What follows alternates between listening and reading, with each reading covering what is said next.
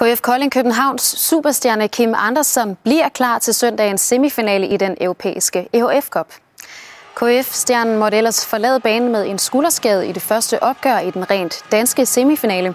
Kampen mod Simsvis Holstebro endte 24-24. Til dagens træning var der ingen Kim Andersen at finde, men træneren lover, at den stærke svenske bagspiller er med i returopgøret på søndag. Jamen altså, Kim kunne godt have spillet videre, hvis det var sådan, at det var vores sidste kamp i sæsonen. Det er det ikke. Vi har forhåbentlig flere og vigtige kampe foran os, så øh, vi vurderede, at han måtte gå ud der. Øh, nu får vi igen en ny uge, hvor vi kan få restitueret Kim, og så er han øh, helt sikkert øh, med på søndag.